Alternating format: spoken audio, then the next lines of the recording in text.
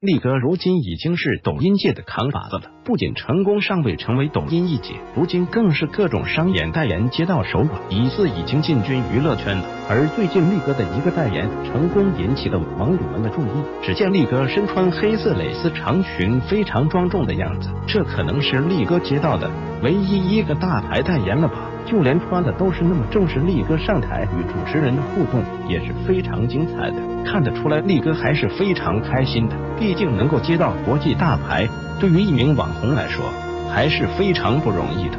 而力哥在抖音上面的爆红之后，第三万的黑料被爆出之后，更是风波不断。如今能有这样的名气，还是非常令人欣慰的。力哥笑容是非常甜美的，也没有了网上的见光死的样子，整个人还是非常甜美的。颜值仿佛又回来了一样，鞠婧祎的写真也是美翻天，有没有？一身黑色蕾丝长裙，与力哥不一样的是，鞠婧祎更加精致与个性，只采用胳膊上面的蕾丝，肩膀上面镂空，给人一另类美，再加上礼服上面精致的装饰。也是感觉很高大上，再加上脖子上的圈圈更是非常潮流。鞠婧祎照片加上一个滤镜，真的是无敌。特别是眼神酷到没朋友。与力哥的小清新不同的是，鞠婧祎的仙女裙给人一种非常酷的感觉，而眼神更是秒杀全场，有没有？四千年第一美女果然是名不虚传。网友